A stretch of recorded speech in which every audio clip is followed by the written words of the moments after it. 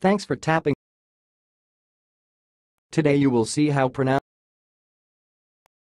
the word you are watching is sounds like.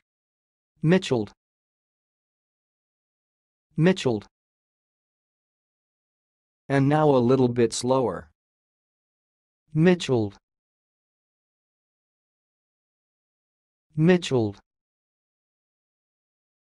That's all, thanks for listening. If you liked this video, please subscribe to my channel. If you want to share your opinion, please leave comment for this video. Thanks and goodbye.